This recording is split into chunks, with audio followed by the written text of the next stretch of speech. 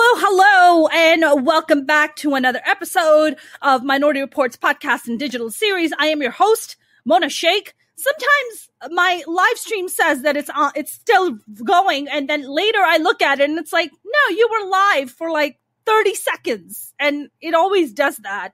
So I don't know, not always, but sometimes it does that. So, anyways, I am very excited because A, it's Friday. B, I am vaccinated.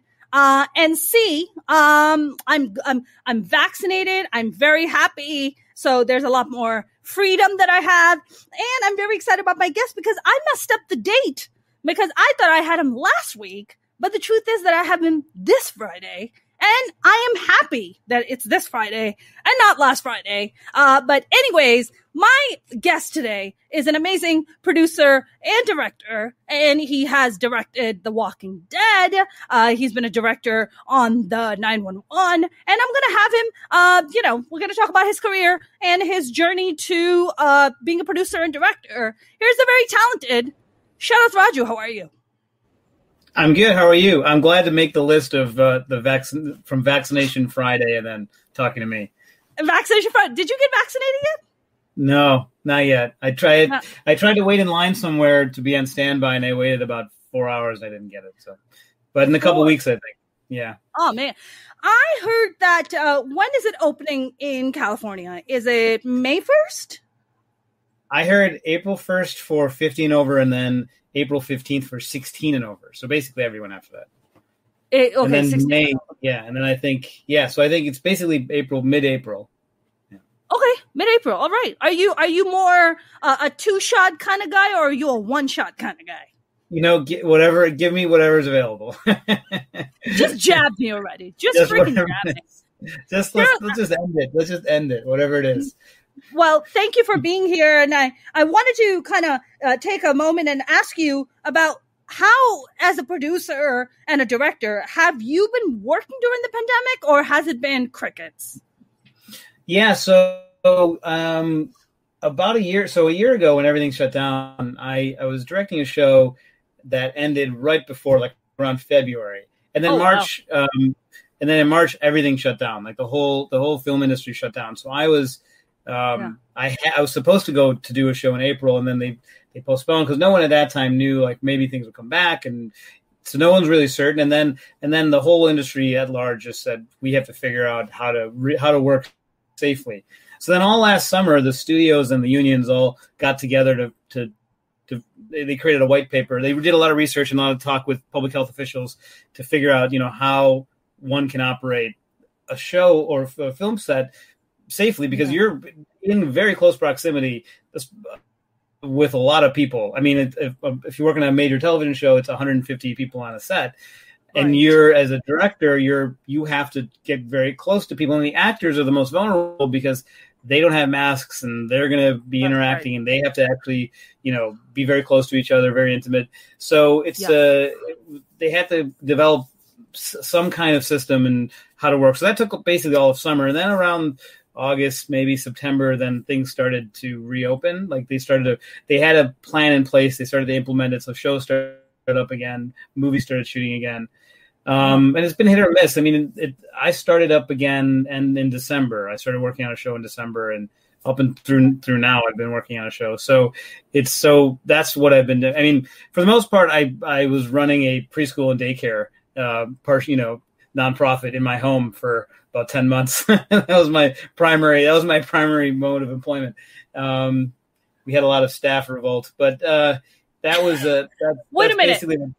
This, this nonprofit, uh, uh, child support, the, the, this, uh, daycare at home. Is this, are you referring to your own kids? Are you referring yeah. to other people's kids? No, that's my kids. it was unplanned. Uh, but, uh, that was what, you know, what, what a lot of us had to do. So, um, yeah, so now, now things are, you know, I mean, there's still a pandemic. There, there's still, you know, possible transmission and infections, but there's a whole series of protocols. Like I get, I have to go test three times a week, and and they have oh. different tiers. Like if you're in a certain zone, then you, if you're like in zone A, that means you're the ones who can be close to the actors. The actor, everything was sort of revolves around protecting the actors because they're the only ones who can't right. have masks when they're working. That's correct. So if you're within contact of them, you're part of this this tier that has to be, you know, th- assured that you have no you have no infection. Even then, like shows have shows have routinely had to shut down. I mean, even the shows I've worked on had to shut down. You know, someone gets sick on some part. Of, I mean, there's some of the some of the crews also segmented, so like you could if some part of like the art department gets sick on a show that only works in the office, you can quarantine them and then keep working. But some shows have had to shut down completely. I've had a lot of friends who've they had to shut down, they had to quarantine themselves for two weeks and then restart it. And so it's been it's been very it's been a very strange thing. And also then when when I'm working now, I have had to wear a mask and shield while I'm That's directing, right. which is a weird which is sort of a weird thing to do when you have to yeah. talk to an actor. Um, or yeah. to talk to crew, right?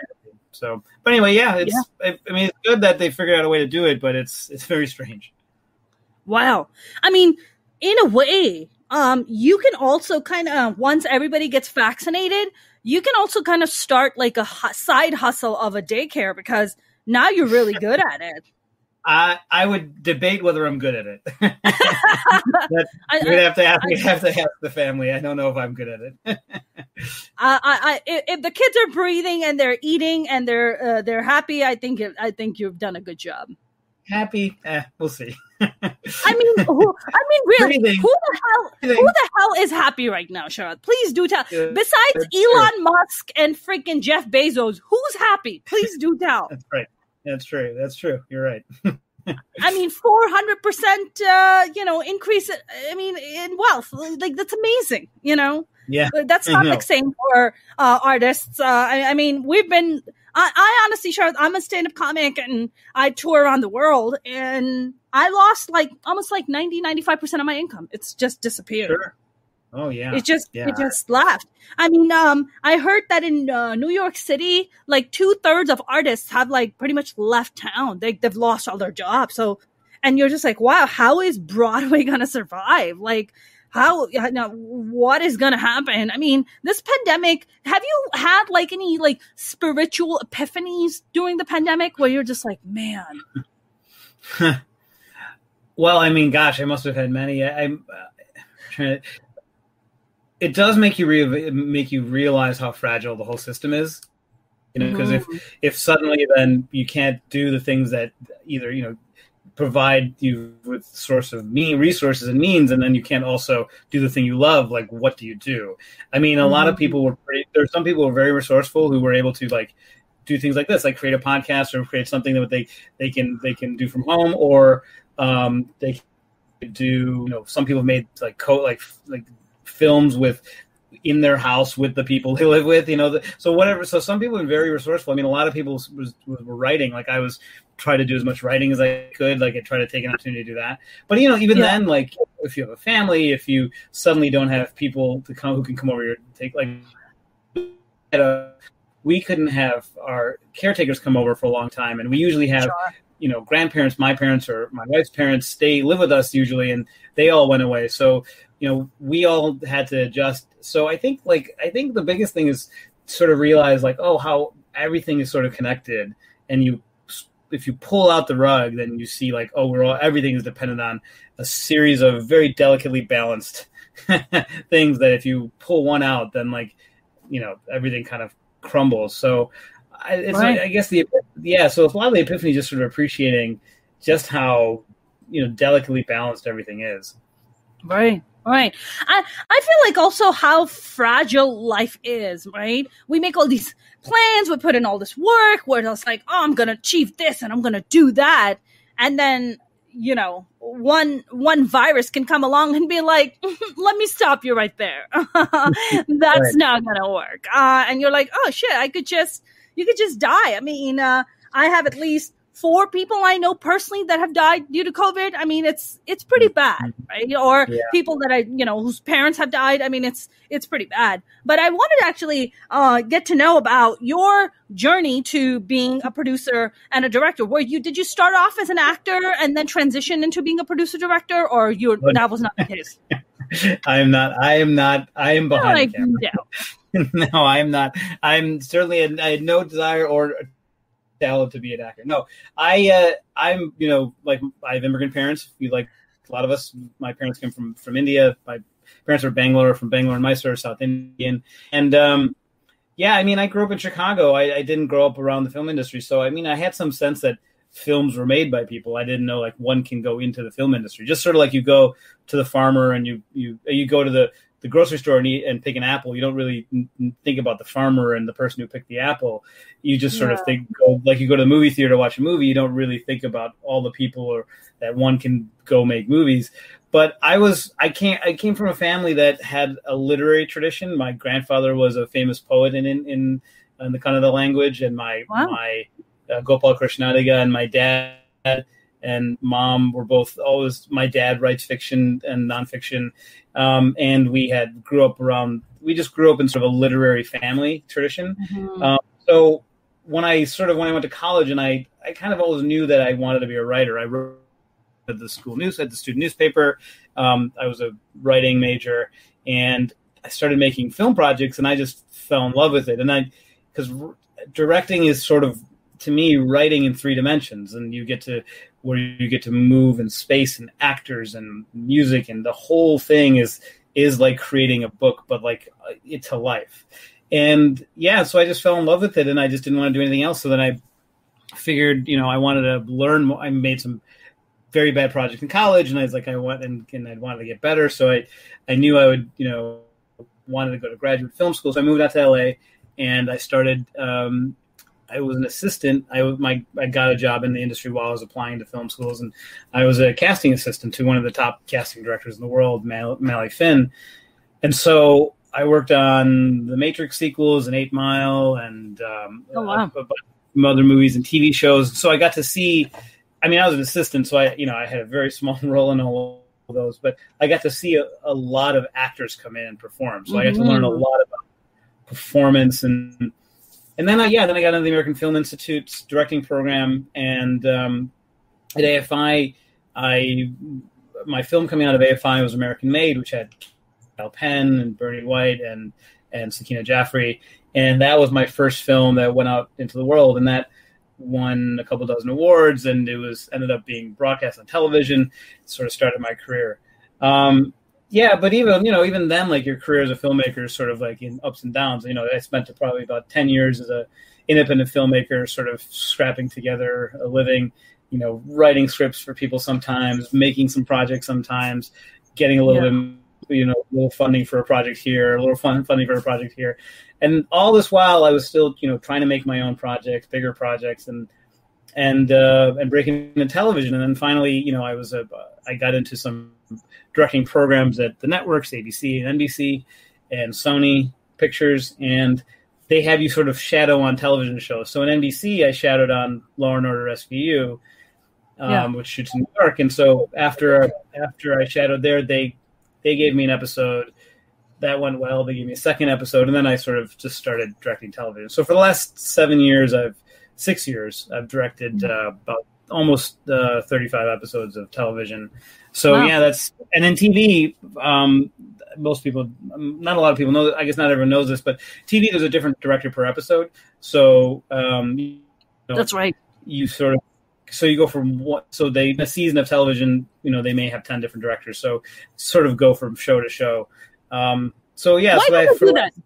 Why do they do that, Sharat? Why different directors for every episode? Why? Sure. So, so uh, the reason is in a production calendar, the thing that's expensive is, is shoot days, like actually physically production days. That's the most expensive thing. So to to to make that the most efficient and to truncate that, they have to do things at the same time. So one director is prepping to shoot, one director is shooting, and one director is in post editing their episode. And then so there's three directors sort of working at, at once. So like while I'm so let's say I'm doing episode episode three, episode two um with I'm prepping episode three, episode two is shooting, and episode four is is getting their script, and episode one is editing. So like everything is sort of happening, you know, and it's right. a big for network shows. They're big machines. Now there's there's shows some shows like um, some limited series and some things like um, True Detective and things like that that have one director does the whole thing. That those right. are like you know for ten miniseries that type type style. But generally yeah. speaking, that's sort of like you know. So a lot of like great. So a lot of people like me who you know have our own projects. The thing that's what we do sort of as a living is is directing, guest directing on shows, but also you know at the same time we try to make our own projects. So that's sort of like sort of what Right. what that's been generally my journey. I also make documentaries with my wife Valerie Kaur, and so we made um, we we also ran a documentary program at Yale Law School for a couple of years. So I kind of work in both the fiction and nonfiction, but mostly for the last six years I've been doing uh, television mostly. Got it. Got it. I mean, um, you know, I'm I'm listening to you and I'm wondering to myself, as an artist, I can tell you that the struggle is you, you know, do odd jobs, you wait tables, you do office gigs. What kind of gigs does a director or a producer take to scrap together to get his career going? Probably the same type of things. the same type of things. I mean, you know, my first job, although I was a casting assistant, I was, you know, I was basically an office job.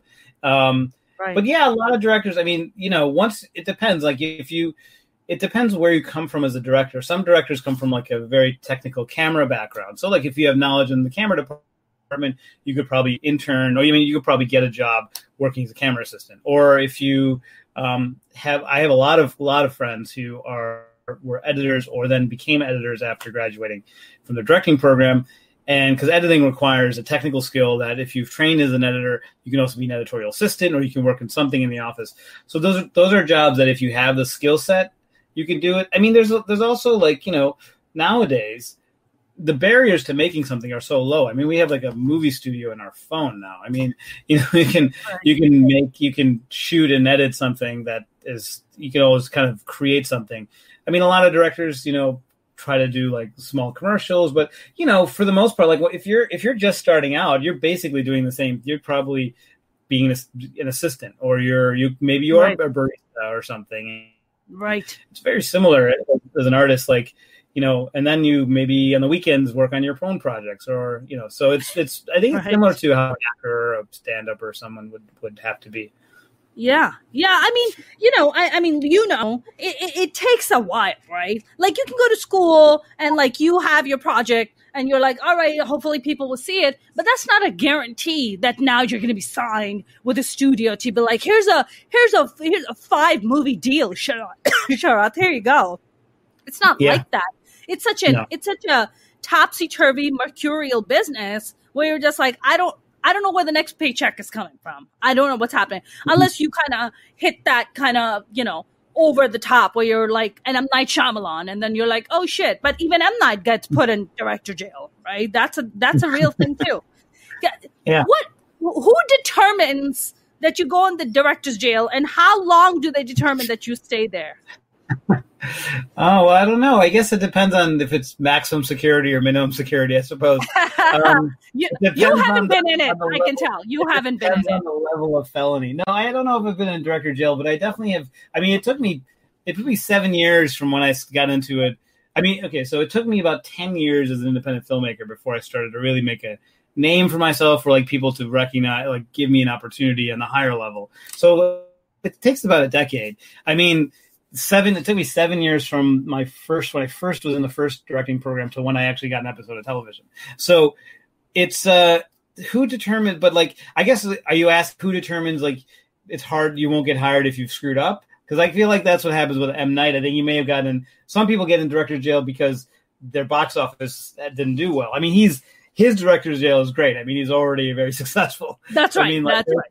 i He'll mean be fine. He'll be fine, Sharat. We don't have to worry fine. about him. Yeah, he'll be fine. um i mean it's different for like you know who determines i guess the if the question is then instead or similarly who determines how you get started well that is that is the question no one really knows i mean it's a combination of your own work it's a and, and also then luck opportunity hard work you know all of these things have to kind of like and for me like you know even to get my first episode of television like i had i had a producer who said i'd hire i, I was shadowing on boston legal and this producer said i want to hire you next season.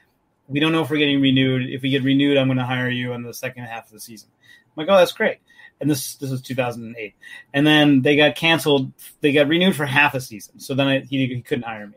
But you know he so then then he had a show two a year later he had another show on nbc called harry's law and he said okay if we get episode if we get a season two we'll get you an episode of season two they got canceled so then you know so so then it's not like i did anything wrong and Right, it's, right, right, right, right. it's like you know I've but like I still had these these people who were sort of supporting me. So like if it happened, it worked out. You know, th- if all these things lined up, then maybe I'll, I'll you know get that. So it's it's it's some combination of like quality of work, hard work, luck, and then you need to have mentors. You need to have people who support you. And even in the film industry, even though it's big and vast, there are people who want to help the new upcoming filmmakers. So right. you just, you just right. find, find those people and stick with them. That's the that's part of it. How do you know? In, in um, I'm going to draw a parallel to stand up comedy. In stand up comedy, um, it is hard, especially if you're a female comic it's hard to find mentors. It's not, mm-hmm. it's a different world. I think in filmmaking, it's like, well, you know, as a director, or producer, you're like, you know, I might not be good for the job, but I think you might be good for this job. So why don't you take it? You know, or let me refer you. Mm-hmm. But in stand up, it isn't like that. It is, you know, uh, it, just like it is for actors. It's very competitive. So you're just like, if I'm getting a gig, I'm getting a gig. I'm not really, unless you're really good friends with the other comic, which I have done, where I'm like, hey, I'm out of town. Why don't you take this gig? You know, or you, and that people have done that to me. So we kind of look out for each other. But as far as like finding mentors, it always seems to be this challenging task to find a mentor. And I have a writing mentor I don't really necessarily have a stand up mentor. I, however, however, I'm a mentor to three other female comics because they come to me and I'm a mentor to them,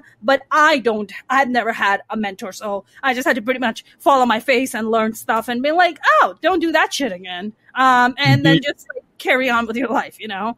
But for you, has you, have your mentors been people that you, you know, who were you you know you went to you know they, they were like a little ahead of you. You went and you went on a set and they were a director and you were just like oh my god this person's amazing. Uh, uh what how do you how do you turn them into your mentor? You're like hey can i buy you coffee? Can i buy you dinner? Like whatever you can afford. Yeah. how, how does that even go? Yeah i mean it's it's got to be hard as in yours as a stand-up because your job is you you are the job like you know there's right. just you right like film film is so collaborative there's so many right. even though as a director it's not I, there's no film just about the director you know the director is one right. part is, is is leading the, the ship but there's a lot of people rowing so um so for direct for me the people who i who have been mentors to me have been because I was in these pro. So I was in these these programs at, the, at these networks at ABC and NBC and, and Sony, and those programs basically are mentorship programs. So then I would be on a show where I would shadow a director while they made it. So I was like on Desperate Housewives, and so I shadowed a director named David Grossman, and he then so I could just I was basically a fly on the wall while he was making the episode, and I could ask him questions and you know and really watch him work, and then just stay in touch with him, and sort of that's just the way it kind of happened. Mm-hmm. And they they wanted to mentor because they had seen my work, and they I guess you know weren't I, I didn't make I didn't do anything objectionable when I was around them, so they were okay with having me around.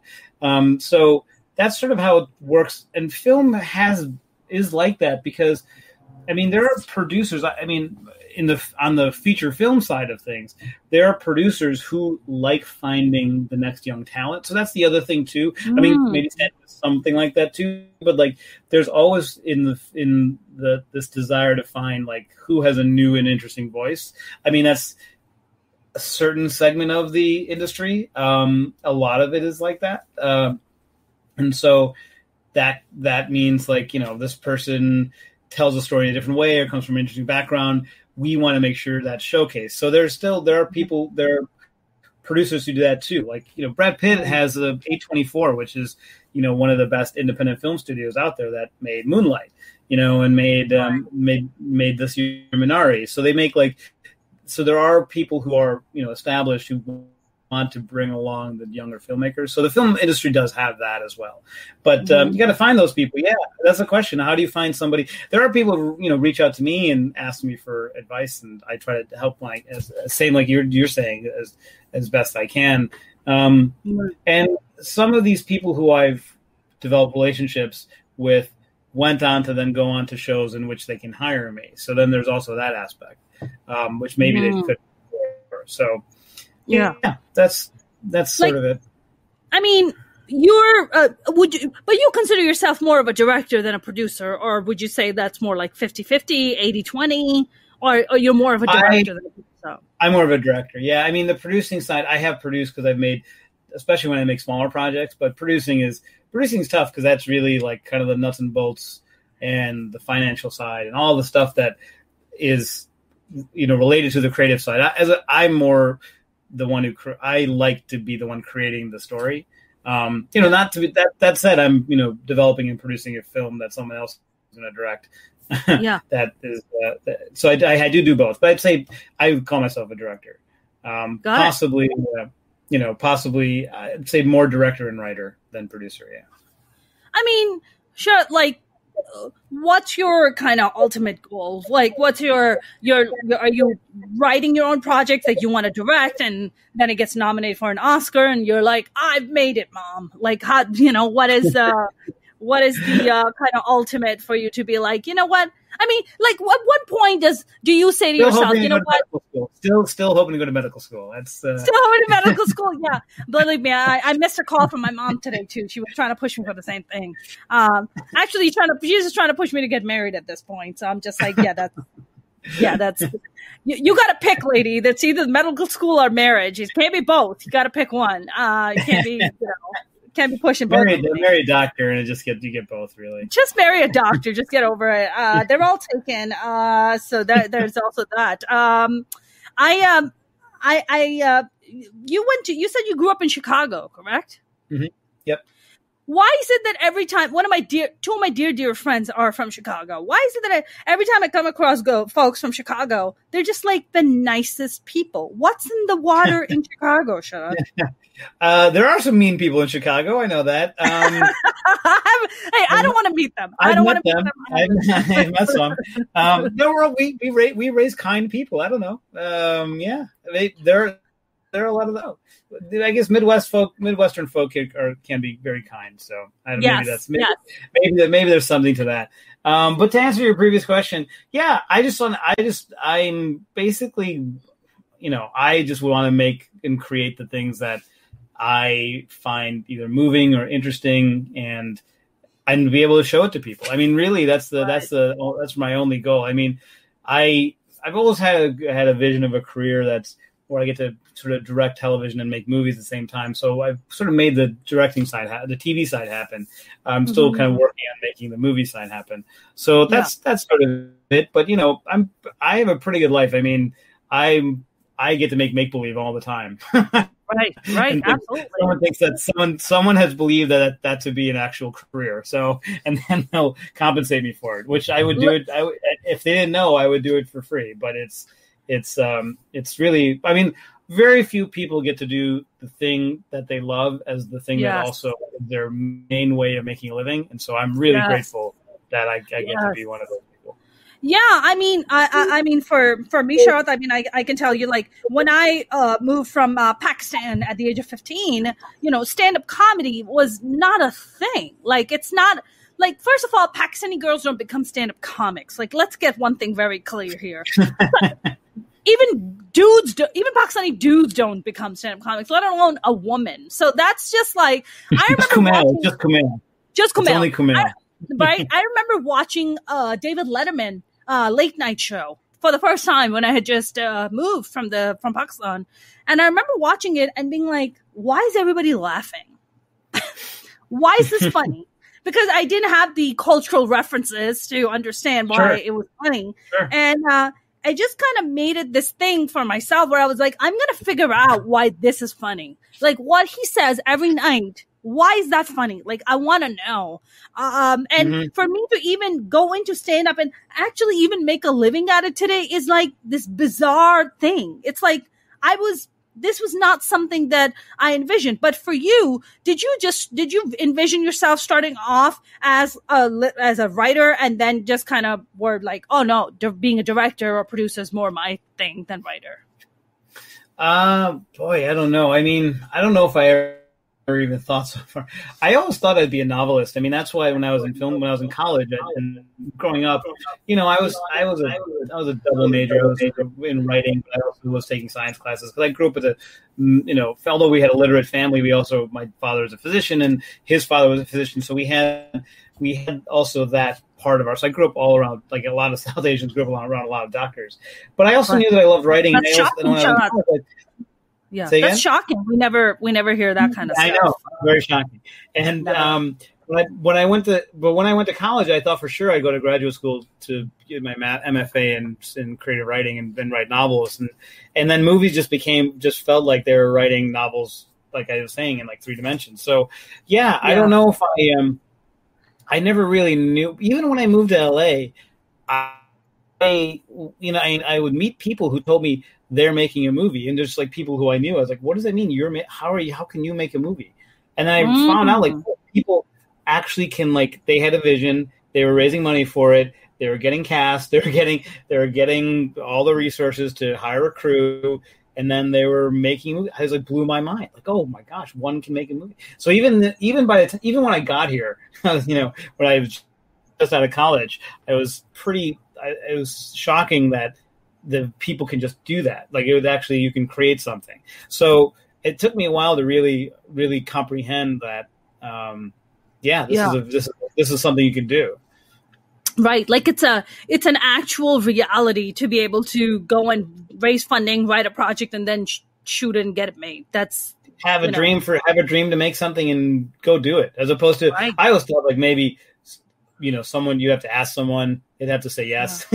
Some people just say Right. no. This is the thing I'm going to make, and then I'm going to find the way to do it. And right right right kind of kind of the great thing about filmmaking. Yeah, I mean, sure. In the past, what I would say, past five to ten years, this whole conversation about diversity and representation has really amped up in Hollywood. Like, you know, it's a big conversation. I mean, when I approached the comedy store about six, seven years ago, uh, when I launched this, my Minority Reportz, which is now a podcast also, um, I, I remember approaching them and being like, hey, I want to produce a show called Minority Reportz and I want to showcase people like myself because we don't get booked on your regular lineups. Like you don't have room for us, right? Where we don't have a voice. Uh, and they were like, yeah, great. And I started doing the show, but now more than ever before, you know, there's all this talk about representation in front of camera, but there, I, is there, I think there's a conversation that's happening about representation behind the camera and not just in directors and producers, but also on executive levels because people who are the decision makers who are going to give the green light to cut the check those people also need to be diverse. Wouldn't you think? Wouldn't you Mhm. agree? Oh yeah, I mean, I think that was the that is probably remains the la- the biggest barrier is that the people who have access to money or to make the the big decisions are still mostly not people of color or women. That's right. So I mean, it's changing. It continues to change, and the industry is, you know, does try its hardest, but Yeah. that's the biggest. It's hard to imagine the value. Like if you're if you can't understand the value of a person of color story, it's then why would you give money to it? Like why would you fund it? So like so like Right. that has to, so that part changes. I mean, there's always people of color who are talented behind the camera. I mean, the pipeline to getting more has to be expanded as well. Like you know, have to make sure that people know that it's a viable career. But um, but yeah, it's the decision makers that are, that need to change. And TV is, keeps doing better and better at it. I mean, film is a little bit behind, but I mean, this year there's positive signs. I mean, you see the Oscars this year. We have you know two Asian American directors that are nominated. Two, um, you know, Minari is nominated for Best Picture. I mean, it's really last year. You know, well, it's not an American film, but Parasite won Best Best Yes. first time ever a foreign language film won Best Oscar, Best Picture Oscar. So you know, it continues. That doesn't mean things have changed, but things are, are getting better. I, I, I mean, even like when I moved here, when I started, so I started, I moved to LA 21 years ago. Mhm. Oh, that's crazy. Wow. Um, That's a and, long time uh, and and when I when I got here, I mean, there was like so few of us that I just we almost knew each. We all kind of knew each other. Right. And Right. even between a degree of separation, like I felt like I knew every filmmaker. I think I did um, because there weren't Yeah. that many. And uh, Yeah. this is like the the twenty. This is the anniversary of the the following really you know rugged independent films that got made. ABCD, American Desi, American Chai, all kind of came out around the same time. And there are these hardcore little independent films that people just made, and then Chutney Popcorn, which came a couple years before that. They were all sort of like the first wave of this of like my generation as filmmakers making films and that was it i mean there were so few That's right. and the only one who was really successful was m night Shyamalan, who just made Sixth Sense and was just becoming well known, and that Mhm. was and, but he was he was already on a different plane, so that was a different kind of thing. But like Yes.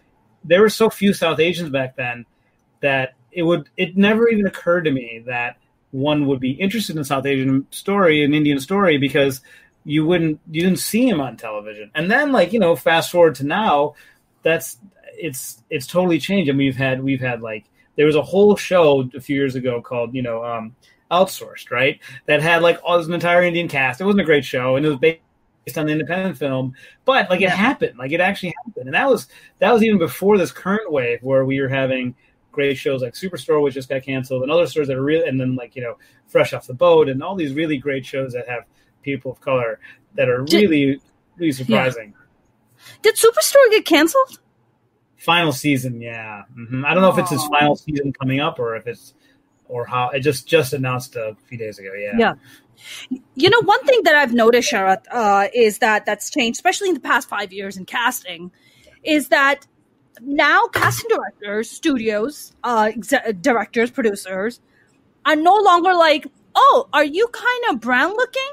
We'll we'll cast you as a as a Saudi person, and it's like, well, I'm not a Saudi person, right? I, I don't, I'm not fluent in Arabic. Like I can, you know, I can speak. I, I mean, I can pick up Arabic because I grew up with speaking Urdu, and you know, I Mhm. I have command of like five languages. But that's a that, that- that's a different. But I'm saying if you don't, like, you, not everybody's just being like, oh, you're Latino looking. Oh, maybe you can pass for an Indian. Let's just cast you as that. It's no longer that. There's a lot more understanding. There's a lot more getting rid of ignorance to be like, hey, you know, uh, South Asia is not the Middle East. like, let's be clear, right? Um, Mhm. You know, there are different Latin countries. Not uh, not everybody who comes from Latin America is Mexican. Like these kind of uh, you know nuanced conversations. This kind of you know separating and being like, okay, this person is from India. This person is from so and so. Like just kind of that understanding. Um, I I recently um not recently but last december i um auditioned for the show called uh, the rookie on abc with nathan fillion. Um Mhm. and the interesting thing about this audition was that it was for a it's for a role for uh, a, a persian woman right? Um and persian wealthy persian woman. So i remember looking at the sides i'm like do they want me to do an accent on this? And i'm like Mhm. i'm like fuck that i'm not doing an accent. I'm not gonna do it. I'm gonna talk like the way i talk you know Mhm. um, and I ended up booking the job, and I was really surprised. And I was like, "Oh, how interesting!" They're no longer pushing you to, you know. I I've been in auditions, Sharat, where they're like, "Can you do like the Indian accent? Can you like put it on?" And then you know you do it, and they're like, "Can you put it on a little bit more?" And you're like, "What? Do you want me to be fucking Apu from Simpsons? Like, what? What do you want, right?" But I feel like when you're a director or a producer or somebody in your position, like in the past seven years, this whole thing about diversity and representation. Do you feel you have been getting a lot more gigs because of it? Have more opportunities come in for you because of it? Or is that still pretty sparse? Yeah, I don't know. I mean, I know that like the shows are TV shows are trying to. So every year, the Directors Guild puts out a report of the shows hiring how many people of color they hired and women, Uh-huh. and they have they have a whole percentage breakdown, and it's like a, a little bit of a shaming report because there's a lot of shows that have zero percent, and so or like ten percent or. What shows are 5%. those, So- Sharat? Do you want to share what shows are um, those? I don't remember it change. I mean, every year sort of changes. I remember it's like there's always Sunny in Philadelphia and a couple, and some some of those shows because they have they hire so few directors because they have a smaller order. They may only have a few. So, like to be fair to those shows, they may only hire five directors. To be unfair to be to be act, those five still are probably all white men. So that's also a problem. Sure. But Sure. um, but uh, shows are trying to. So, did, have I gotten jobs because I'm Indian? It probably helps now. I mean, it does probably because shows. It, I know they need to. They need to show that they're hiring people from all ba- as many backgrounds as they can, and so and a lot of shows are very good at it. Um, and I think the shows have also realized that it benefits the show to not have everyone be the same type of person. Um, Mm. I mostly get hired because people like I think like having me direct their shows, but I think it ha- doesn't hurt the fact that I'm also a person of color to help take off a, a, a box for them. Um, sure. And there are a lot of shows that are trying this uh, initiative where they hire 50% of their directors are, are women.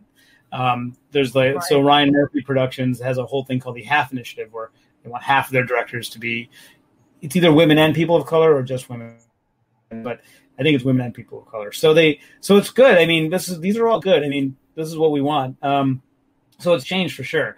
I don't know how many. I mean, but in terms of casting, which is interesting, I mean, it had that has changed. Like I've never. I've I'm really impressed with how casting has changed because it is when I was I was working on Grimm show Grimm, and we had a, Mhm. char- a storyline with a Japanese family, and they were adamant about hiring a- Japanese actual Japanese American and not someone who could play Japanese. And I was very impressed. I was like, and I, which is what I would, I would have asked for too. And I would have said we should have someone who's actually Japanese, not just someone generally East Asian. And so shows are getting the specific. They're they're drill and, Mhm. and and it's it's it's good. Um, It I've makes a it- difference. It makes a Yeah. big difference because you see authenticity, right? Like when you watch Kumail Nanjiani in The Big Sick, you know, even like some some Pakistanis had a problem, but you know, I guess you can't make everybody happy. But some people were like, "Well, that's not how our Pakistani families discuss." I'm like, "Well, that, but you might be generalizing to say that every Pakistani family behaves the same way." Some right. that there are different people in different cultures and ethnicities so you can't really generalize that but do you but do you, but you think that it brings more authenticity to the project than just hiring somebody possibly just east asian looking and being like hey yeah you can just come play this role Yeah, absolutely. I think I think it does. It also thinks it feels like you know you're doing. If you're going to tell a story with a with person of color or a minority in it, then you know get it right. you know, like right you know we had a whole thing. So my so my wife is uh, you know Sikh. She's a Sikh American, and so she she has been working with studios to make sure they cast Sikh characters in any roles, just small roles, as long as they just are, you know, just and to help them get it right. So like so the the Sikh Coalition, which is a- which is a legal and uh, uh, advocacy organization, partners with studios so they can help them because like the the costume and wardrobe people don't know how to tie a turban. They may not. They they won't know that Sure. you know, motive. And so to make to get that all right, they they have you know they offer for free consultants to these shows, and um, you know, and still some shows have gotten it wrong. They just they didn't they didn't tie a turban right, or they didn't do they didn't whatever they did wrong. But there's a lot of them that did it well. Like um, this is us through partly through this partnership hired. Um, they had they just cast a guy that who just worked at a hardware store and he happened to be just a turban wearing sardar you know he's just a Sikh. And he was just worked at like a home depot just an ordinary person. But he had a very meaningful scene with one of the main characters and it would never have happened. I mean had they written someone like that in the previous time they would have gotten the turban wrong they would have got the accent wrong they would have they would have they would have maybe not cast an indian they would have done all kinds of things that are wrong. But instead they got that right they cast a good actor and it was a memorable scene. And that's like that's sort of like the bullseye like if you can do all that right. Yeah yeah. Sure you have kids. You have two? Mm-hmm. six How- a six year old boy and a two year old girl Okay, so the two year old's a little, but the six year old probably understands, probably sees things, and like, does he, uh, you know, get curious about what you and your wife do? And like, Daddy, like, what are you doing? Like, what is like you just you, what what do you do? Like, can you take me to work? What do you do? Well, before COVID, I mean, he had probably before the age of four had visited more film sets than I had before the age of twenty five. I mean, because he would Wow. anytime anytime I had a job in town, they would come and visit. So, Oh, um, so he's seen it, and he actually he understands like the making of fiction. And so I, I'll actually, when I'm working, I'll sometimes film something from behind the scenes of how we're doing something, especially if it's a complicated stunt or or a you know some kind of effect. And so I, then I'll come home and show him um, because it's pretty neat. Sometimes I mean, we just had a thing I filmed last Friday for a show. We had a whole car racing sequence like on the streets, um, Wow. and so we, but we had kids driving, like you know minors. They weren't actually able to drive, so we had to figure out a way to do it. So we have a whole system of a car that goes on top of a platform. And anyway, so I filmed all that and showed him when I came home. And um, so yeah, I think he thinks it's. I think he thinks it's fun enough. He thinks it's kind of cool. I think you know he doesn't watch any of the shows I make because they're not for kids really. Um, sure. But he did. We had um, in the episode of 911 Lone Star I directed last year. It was a whole tornado thing, and we had a car that gets swept up by this tornado and stuck between two buildings upside down. So I showed wow. him images of when when we were filming it, and then I showed him the final version of it because it's pretty cool. So yeah, I, I, sort of do that. He's he um, you know, he's going to go to medical school, so it doesn't matter. Uh, that was going to be my next question, so I guess uh, I can just skip right over that question. You're like, but he's going to film school, uh, but he's going to medical school, no, anyways. Uh, yeah, no, it's this is much too hard. Uh, You're like, he's like, Daddy, I want to go to film school. You're like, Beta, you mean medical school? That's what you mean. You're going to medical school. you mean I want to be an actor? You mean doctor? Um, it's the same OR at the end. Um, if your kid wants to become a director or a producer tomorrow, would you encourage them? No, because he's only seven. You'll be seven, so um, no, it's too too young. Um, um, oh, you mean the future? Oh, okay. Um, Not tomorrow. That's too early. Yeah, schools aren't even open, man. Schools aren't even yeah, open right. Go tomorrow. Um, no. I would. I mean, if if he did it because he knew it's something he loves and he wants to he wants to tell stories, absolutely. Yeah. I mean, it's it's different because like I've you know it's different than my my parents had you know they had trust faith in me when I that I would make a not reckless decision, um, but they you know they didn't know. I mean they they didn't know they didn't know any other filmmakers. They they knew it was risky. They were worried a lot probably. Um, I mean, for me, I know what he'd be getting into. yeah. yeah if he, if he did it, if he wanted to. Now, if he's like said, like I want to, you know, be a skydiver, I'd be like, I'm a little concerned about that. I mean, maybe maybe let's think about another one, but let's have a backup. Um, but no, I mean, medical know, school, medical school, yeah, medical school. But no, I mean, gosh, if he if he was able to wanted to live either of them wanted to live a life of in, in a, a life of creativity that's it's great it just would be have to tell him these are the things you're going to have to go through. right. That's right. That's right. These these are these are I mean because it's so hard. If I mean if I had a kid tomorrow and my kid's like I want to be a stand-up comic, I'd be like absolutely not.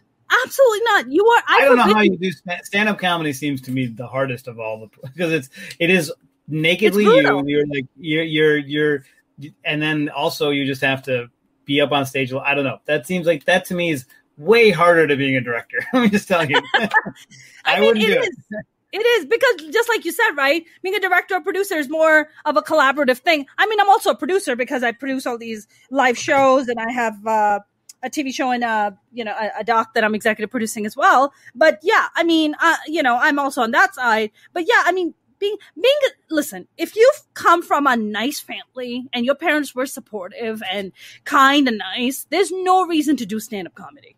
Don't freaking do stand up comedy. Don't do it. It's stupid. Like, what are you going to talk about? How nice your family was? Shut up. Who cares? Get out of here. I don't care. Like, tell me the fucked up stories. Tell me how your, you know, dad used to beat the crap out of you. I want to hear thou, those stories. Those are the stories I want to hear because I experienced that shit. So I want, I want you to tell me the fucked up shit. Um, yeah, yeah I, I, I don't know, man. Stand up is a, stand up is a dark world. Stand up is a very, you know, uh, man, God, in the beginning, you know, uh, you were talking about odd jobs and stuff. Like, you know, you do your odd jobs and then you're running open mics where you're standing waiting for like an hour, two hours just to do a three minute set. Like, that's the life. Yeah. Like, that's the life you've chosen. Like, this yeah. is it. Uh, but, yeah. you know, this, um, this thing about uh, diversity, do you think um, I know a lot of people, I know the Latinx community, uh, uh, you're talking about uh, a lot of African Americans, uh, also South Asians have been very vocal about, you know, having diversity and representation. Is it becoming like, is it becoming like a tiring conversation at this point where because people are constantly talking about constantly talking about diversity is it becoming where people are like all right we fucking get it we need it like is that is that a th- is there like an exhaustion? Is like a diversity exhaustion happening, or am I wrong? Uh, I haven't heard it. I mean, maybe, maybe at the hiring level, maybe people are getting tired of it. I don't know. I mean, people don't get tired of money though. I mean, I, you know, these shows like that are diverse and have like diverse audiences make money. And I think that's the, you know, like, why, why aren't there more shows for the Latino fam- about Latino families on mainstream television? It befuddles me because that feels like that those would all make a lot of money. Like I, there's a, I mean that that's or even more shows with African American I mean, so like I think I think sure maybe some people the people who are most tired about it are probably people who don't understand it who may then might be just white people. I mean, it could also be. Um, I mean, but I haven't. I mean, for as far as I understand, I mean, as far as I've encountered, no one. I've never heard any. I have not heard people who have got um, diversity fatigue. okay, good, good. I haven't heard. It. I haven't heard it, but then again, I I haven't heard it, but I'm not in a position to hire people, so you know who knows. Got it, got it. I mean, I mean, yeah, you're on the director side, but but but when you do producing, then you are on the hiring side. Yeah, I guess, but those are usually my projects. I mean, I'm yeah, I just yeah, it's just not something I've personally encountered, but maybe maybe there's people in the executive ranks who are like, didn't we try all this diversity stuff already? Isn't it boring? I don't know. I don't think so, but I think it, I think it's proven to be moneymaker. Right. You know, the show, right. You know, if they're good right. shows and they have a diverse cast, those make money. I mean, This Is Us is a very is one of the most diverse shows out there, and it's a cash cow for NBC. So I, I don't know. You're talking about the 911 show? No, this is us. The um, oh, this the, is, uh, oh, this is yeah. us. Is yeah, everybody yeah. loves that show. Mm-hmm. Everybody mm-hmm. loves that show. Um, I actually uh wanted to ask you this thing about just like you said, why aren't there more shows about you know Latino communities? Why aren't there more shows about uh, African American? Because they're cash cows, just like you said. But do you think on the decision making level, on the the uh, the older white dudes that are sitting up there. Um, is there a fear for them to share their power or give up some of their power? Oh, sure. With, to women or to people of color. Um, and what what is is that fear even validated? Like that's the part that baffles me because I'm just like if you give up some of that power, it's not like you're going to be jobless tomorrow or you're not going to be able to afford your $30 million yacht. Nobody's coming to take that away from you. Like, yeah. you're just sharing your power for more money that's going to probably be going to be able to make you buy a $50 million yacht. So I'm just, that's the part I'm always trying to figure out. I'm like, what is that fear? Is that fear of like oh uh, white you know the white executives are going to be the minority and that people of color and women are going to be the majority? Like what is that fear about? I don't know. I mean maybe it's it's probably related to power. Like if you ha- if you have decision making authority if let's say you are the decision making authority and then you know people around you are telling you that you need to have more voices in the room and then you get like you then you're hiring more diverse voices.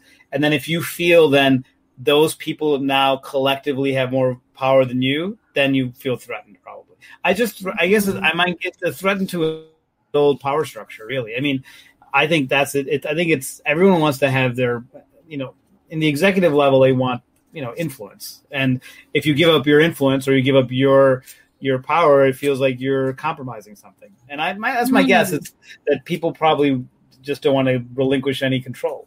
Um, right. So you know that that's the same in politics. You know that's the same in that's the same in you know so many aspects of American culture uh, and sure. life. But yeah, I you know the money part of it is you know if you're already wealthy, you know if you're not going to be not wealthy, then then that is a weird. That's a question like why why aren't you letting other people in? Because right. like they're not suddenly going right. to take your wealth. It's not they're not taking your wealth. They're sharing it wealth. But like all of these, especially in, in entertainment, like a lot of it is you know lucrative, very lucrative, and so you know people just don't want to cut up that pie into smaller pieces, probably. But right, right, right. Um, I mean, you know, somebody like yourself, you have established yourself as a director. So you have a project, you go take it to a studio. Uh, does it hold a lot more weight because you have all these directing gigs under your belt? It depends. I mean, in television, television is a weird thing because as a TV director, you're sort of you're kind of a mercenary. You're sort of for hire. If you're in TV, the writers have all the power, and then directors have less so. Um, and it's the other way around in movies. So a lot of what I've de- a lot of sort of what I've developed as a as a director may not have currency as a writer. Now I've had pilots that we've tried to make that um, I've you know co-written or produced, and you know we try to get we try to get made. So I have you know been on both sides a little bit, but I've been mostly mostly a director. So TV director also may not have a huge amount of currency as a in feature films, but I have a track record of of telling stories on the screen. So it all yeah. depends on what it is. Like you know, I'm you know probably not tomorrow going to get a Marvel film, but because of television directing. However, you know, mm. it is it, I ha- I am a professional studio director, so I have like you know exclusively worked in the studio world for the last six years. So right. it's um yeah, it all everything sort of depends on like if I had a passion project that was mine, like let's say you know I've taken one of my scripts and I'm insisting I'm directing it as a feature film, and I take it to a studio they would probably not hesitate to they wouldn't say, "Oh, well, can you prove that you can direct this?" So I'm already mm-hmm. past that. I can prove that I can direct something that's mine for sure because I've done it. Will someone hire me to do a 80 50 million dollar feature film? Unlikely. I mean, maybe, uh, but it's unlikely. So it all depends. Unless I've made a successful feature film, because they're they're kind of like different worlds. There's increasing blurring in the line between film and television because it's like sort of the platinum age of television right now and so yeah. like you know and arguably some of the most creative stuff is in television so right. there's a blurring of the line but i haven't been i haven't yet been like the prime. so in tv the primary creative directing the creative force is the writer and there's a bunch of writer directors in tv not a not a ton of them and so mm. you know had I, had I had if i have a show that's i'm the primary creative driving force then i can would use that. Everything is sort of like leverage, I guess, in a weird, terrible way to say. But like right. if you if you made something good, then and you you are the creative force behind it, you can get people to pay attention no matter what media or format it is. Yeah, yeah. You know, I've had. Um, if you make a great short film, you may not have made a feature film yet, but someone will give you money. Like you know, Chloe Zhao is nominated now for for best director. She, started, she made a great short film she made a she made a feature film, and then she made another feature film, and then another feature film. Now she's doing a Marvel Marvel film coming up. So that's you right. know, but the, the Eternals, right? Gotta, the, yeah. the Eternals, yeah. So you got to kind of start somewhere, anyway. Right, right. Sure, I've uh, had female directors who uh, they're also friends uh, who've been on here as guests, and um, this is a question I think mostly usually directed at female directors, but I'll direct this at you also. Um, okay. Has there ever been like a power struggle that who's this uh, brown dude director coming and telling me what to do and how to do it? Has that been a, ever a, a, thing for you, or have you experienced that, or butting heads with a director, uh, with an actor rather? Um, yeah, I don't know if it's because of race. I have a feeling, you know, TV is. I've been lucky. Most of the shows I've worked on have been very professional. I mean, but you do encounter actors who are obstinate for one reason or the other, and it's not. I don't think it's ever been because of my of who I am. It's more about who they are. yeah, Sometimes, right? You know, they're of like they're kind of the, they're kind of the boss. I'm a guest on these shows, although I'm also kind of the boss, but I'm mostly a guest. But mm-hmm. you know, as the guest, if you have someone who's been on that show for many years and plays the main character, he or she knows what they're doing, and they have a way they're doing it. But I I usually have a way I, I don't really butt heads with people generally and i don't think i've really i have had moments where i just had actors who've just been problematic and that's sort of you know or um, even sometimes occasionally a crew person is problematic that doesn't happen as much but mm-hmm. i don't, I don't think it's because of me being a brown filmmaker it's just me being an outsider i mean not, not being one who's been on the show or or it's because that person thinks they're in charge which they sometimes are Interesting. Yeah, because uh, one of the things I come across talking to female directors is that they're like they won't listen to me because I'm a female director. Like oh, they're just I like totally, I totally believe that. I mean, it's the, the heart. The thing about a film crew is that it's very it's unfortunate. It's very male focused. It's very like male driven, and yes. you know, I mean, I have not yet worked with a female cinematographer on a television show, which is crazy. And I've directed wow. 30 plus. And wow. that's insane. That's insane to me. I mean, they're usually, I mean, I went to film school with great female cinematographers who are all working now. I just haven't, since film school, have worked with mm. one on a, on a, show, which is crazy. So yeah. It's, uh, it's and like most of the crews are men. I mean, almost all the departments are full of men. It's like, I it's it would be harder for you know and there are a lot of these men who who just won't listen to female directors. It's true. I've mm-hmm. I've worked on a show with a cinematographer who he was fine with me, but he had a reputation of didn't want to work with female cinematographers, female directors, and wouldn't wow. really listen to them. Either wow. would listen to them, but listen to them, but it was very hard to work with. It was huh. it's it's really it's really awful. I, that's one thing that you know hopefully will continue to get better, but it's it's uh, it would require probably even more women on crews and it also requires from the top. I mean, it come if you get if you have producers who are very conscious about hiring directors who are professional with whoever they, you know, the crew people who can be professional with whoever. That's yeah. most important. Yeah, but right. I can totally imagine your friends have encountered that. Absolutely, I've seen it. Yeah. I mean, I've seen it. Yeah, yeah. I mean, um, that's why I wanted to ask you kind of that portion. I mean, have you ever experienced any kind of weird racism because of what you look on set? No, not as a director. I think I don't remember nothing. I remember as a director. Yeah, no. You know what? No one wants to upset the director. That's right. That's right. you know? So That's true. I don't really, I don't really get it. So you're, but, the captain uh, of the ship. They don't want to upset the captain of the ship. But if it's a woman, but if it's a woman, yeah. they don't have a problem upsetting the captain of the ship. How interesting. Well, they may. Well, they'll hide it and not say no, no, no. We're we no, it's not because she's a woman. It's because of this, and they'll make up some reason. It's not true.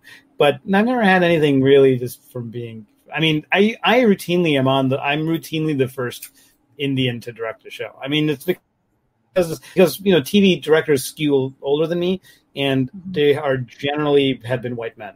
Um, so just by the right. odds, most of the time I right. go to a show, they have not hired an Indian director before so you know it's not like a big thing but you know it's and it, but it's i personally have not encountered anything anyone treating me badly or not listening to me because specifically because i'm south asian but but i don't know maybe i'm wrong maybe maybe um but it has i'm sure i don't doubt it, it hasn't happened before. it's also probably it happened it was less i think everything was less transparent before like you know 10 years ago 20 years ago i'm sure it was easier to be a jerk to a black director than it sure. is now. You know, yeah. So sure. even sure. though though still still no one wants to mess with the director because like it's easier to fire a camera assistant than it is to fire a director. So right, right. I mean, is in, in television is the director involved in the casting process at all with the top two picks or top three picks, or no? Mm-hmm. Yeah, so forget. I mean, obviously the series regulars are already there, um, right. and the main the main characters are already there. But you're, um, yeah. So when I go on a show, there's always guest cast, and so I'm in, I'm involved in the casting process. I mean, this last year, and the trend recent has been to do it all remotely. Like you just see audition tapes, and then you make choices. I like to do the in person. I like the shows that. Um, Criminal Minds is one that I did that did in person casting that I love doing that. Um, yeah and uh, but so usually what happens on most shows, well, Criminal Minds actually they would take whatever I suggest I wanted to pick basically, but other shows I'll narrow down to my top two or three, and then the showrunner, you know, executive producer, producer gets they they say who they want. Usually they try to the good shows. I say the good shows, the ones that I think are used are the best creatively. They will consult with the director and they will take the director's choices. Now, they if they have a disagreement with the director, they'll say, "Well, we're concerned you like this person, but we're concerned about this this actor for this reason." Yeah. And then I'll have a conversation. I'll have a conversation about it. Um, so sometimes it's as simple as I mean, sometimes it's as simple as this guest actor looks too much like one of our main characters, which is sometimes has happened. Um, or like you know, or this character, this actor, um, you know, they're playing, they're playing. Maybe their audition isn't great, but you know, because they're playing this in a certain way. But if you think they're good, then you know, if you think you can get them to this, like you know, kid actors are always tough too, like younger actors, because you know their auditions may not be great, um, but they kind of look right, or vice versa, their auditions, but they don't look quite right. So then you can feel like, oh, maybe I can work with them. Um, so yeah, it's um, so yeah, so I I usually have a hand in it. Um, and the better shows, I feel like the better shows allow me to do a little bit more. Yeah, yeah. I mean, I'm, now the one who has to, I'm the one who has to direct them later. precisely. I mean, are you more are you more of like a hands off kind of a director? You're like, I've done the good casting. I trust they're going to do the job and just go do your thing. And if there's a slight adjustment, I'll come talk to you. Yeah, I mean, when I feel casting is usually the well, so in the right in the in the world of TV, so I'll just talk about TV because your own projects are a little bit different. But in TV, the series regulars mostly know what they're doing. You know, they they mm-hmm. need maybe mm-hmm. some guidance, especially the, the the the top like the people who are the main main character. Like Kerry Washington didn't need much guidance. Um, you know, like I gave her suggestions and ideas. And we would talk about things together, but usually she knew what she was doing. I mean, she obviously always knew what she was doing. The um, the guest cast is where the director does most of the directing, and so that's where I did. I usually do a lot. I like when the actor comes to, with their own thing, and it could right. be wrong, but I like to see it. I like to see it, and then I can help adjust it. Um, I mean, I just was in a situation where we had a uh, a very new actor because he's young. He's only he's only thirteen or fourteen. His first first show really, and so you know I had to do a lot more of like getting him comfortable. You know, making making you know really fine tuning and and really you know really working harder with him because I knew I had to. But you know, uh, I'll do either. I usually, but I I don't I don't like to talk too much about with the with the actors because I feel like you get too much in their head. I mean, and it also mm-hmm. depends. There's also no one size fits all. So some actors who are very accomplished want to be given notes. You know, mm. even some of the series regulars on some shows, they want to be given. They want to be told was it good? Was it bad? Was there something you can do differently? Is there something you could try differently? There's some some actors want to talk about it a lot, mm-hmm. um, and then some actors just kind of get it and they just say, no, no, no, I just want to do one more take. I, I get something. I'll figure it out. And so, yeah. as the guest director, I kind of have to take the temperature of each person and see what yes. how they like to work. Um, yes. But I don't really I don't like to overtalk because I feel like you can you can make it worse sometimes. Yeah, yeah. Yeah. Um, we're going to start wrapping up, but you touched upon the exact same question, which is what I was going to ask. As a stand up comic, when uh, we are standing in the back and we're watching the room and the comic, the host goes up and we're like taking the temperature of the room because we have to very quickly adjust what set we're going to do. So we're like, I'm like editing in my brain. I'm like, oh, do sure. this, this, that, that, that, right? But I have to take the temperature of the room or it's just not going to work. Is that the same for you as a director when you show up on set? Take a temperature. What's going on? Is this more of a chill crew and cast? This is more, I got to be hands on. I got to be more stern. Like, is that a thing for you as a director? Yeah, kind of. I mean, that's more generally when you arrive at a show because a show has a culture and you sort of have to fit into that culture. And some mm-hmm. shows are, you, you very quickly know, you know, who's kind of in charge or who you should listen to, who has good ideas, who who has just a lot of ideas, who um, you know, and then also then when you get on a crew, you can you can see how well they some most professional TV shows have a pretty well oiled machine. Some mm. have been doing it a long time and get lazy, or they just get stuck in their way of doing it, and they they need a little more prodding to get moving faster, or to like try right. something that seems out of their their their their control. So in some ways, yeah, you do you do kind of take the temperature of of a show. It happens kind of earlier in a way because you're you get a sense of it when you like I've worked on some shows that have been on the air for a decade, and so so they they have some people who've literally been there for ten years, and so then you get on a show like wow. that, or maybe fifteen, like in the case of SVU, or now it's twenty.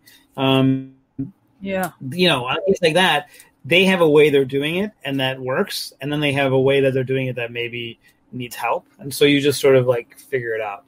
Um, mm-hmm yeah, so in some ways, I guess that is one similarity between stand up, I guess, and being stand up and being a director, I guess. Yeah, like just uh, kind of taking the temperature and be like, all right, you know, I can't be walking in a room and be like, so what are you fuckers up to? Like, and it's like this conservative culture. They'll be like crickets. Like, oh, that's not gonna work, you know. Uh, so you gotta gotta take the temperature. It's not gonna work. It's just not gonna work. Yeah. Not, uh, like one, one, size doesn't fit all in, in a lot of circumstances. That's that's right. That's right. No, I I, I agree. Uh, Sharat, are you working currently on any of your uh, personal projects? Is there something we should be on the lookout for? No, you know, I'm I'm I always have a handful of things that I'm I'm working. I'm started so I'm still directing 911 Lone Star right now. I actually have I'm almost done with this episode. It's going to come out in a, yeah. in April. Um, but for my own projects, yeah, I have. Gosh, so Valerie and I have two different documentaries that were sort of have been um, in the works for some time, and, and then I have a um, a feature film that I'm producing uh, with another South Asian filmmaker, South Asian American filmmakers that were just started. So it's not, um, it's just getting, it's it's it's the very early phases. And then I have a lot of projects I'm writing on my own. Um, next month I'm going back to The Walking Dead. I'm doing a couple episodes of The Walking Dead. Um, awesome. So so yeah, that's that's it at the moment. Awesome. Awesome. Do you like people to uh, stalk you or follow you on social media at all? Sure, absolutely. Why not? Where can they?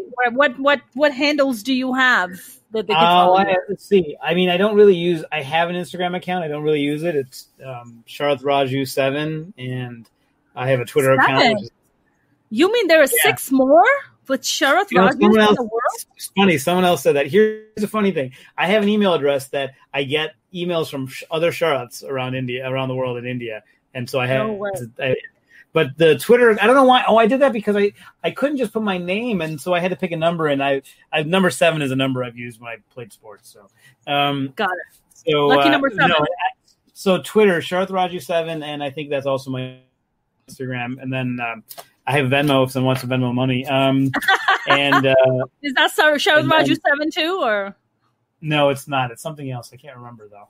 Um, you gotta give the right Venmo, man, if you want to get the cash. know that. Well, they may ask for money too, right? Because didn't you request money? I don't want that. Um, yeah. And then and then and then Facebook. So. And then Facebook, yeah, yeah. I mean, yeah, I th- it might not be a good idea to give out your Venmo because uh, God knows, uh, uh, you you might be getting a money request from me. So yeah, uh, yeah. you gotta be careful because I'm like, uh, all right, cool. This uh, this director, let me request some cash from him. Uh, sure, this was this was so much fun. Thank you so much for coming on and uh, doing this chat. I appreciate it. Oh, you're welcome. I enjoyed it. Thank you so much. Thank you. I will talk to you soon. Take care. Okay, take care. Bye. That was a lovely chat with Sharat Raju, uh, producer and director. He is uh, going back to directing The Walking Dead. Uh, you guys it is the friggin' weekend. This is a busy weekend. Uh, tonight, right after this, I'm going to be headlining a show, uh, online, which is, uh, posted on my social media if you want to come and check that show out. Tomorrow, I'm going to be at the Laugh Factory in Hollywood, uh, doing a Stop Asian Hate benefit show at 8 p.m. Pacific. And of course, on Sunday, March 28th, 7 p.m. Pacific, is the debut of my prime time appearance on The Rookie on ABC, which is also on Hulu. You guys, uh, you can subscribe to my channel. That would be awesome. YouTube.com forward slash Mona Shaikh, a comedian, also on TikTok and Facebook with the same name, and Instagram and Twitter at Mona's Comedy. Guys, have a good night. Have a great weekend. I will see you on Monday.